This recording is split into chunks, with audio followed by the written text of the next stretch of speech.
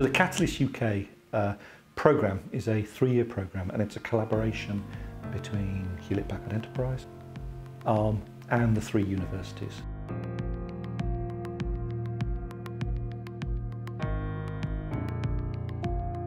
Modern research is based very much on computational science. We're very excited about the Catalyst programme because it gives us a new processor to use for that kind of research activity.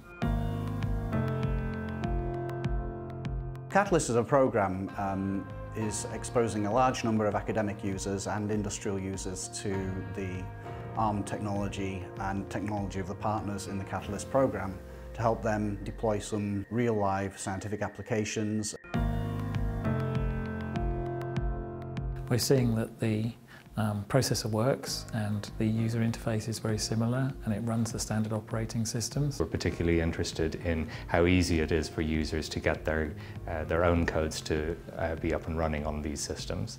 What we've seen so far, and we're just about to publish a paper at the PASC conference on this, is that many codes perform exactly as we expect. The collaboration between the Catalyst partners and ARM has really enabled us to accelerate some of our development. What we've seen in Catalyst so far, you know, with, with the, uh, with the uh, Thunder X2 processors on the Apollo 70 is that there are certainly some workloads that are quite performant when you're doing it with ARM.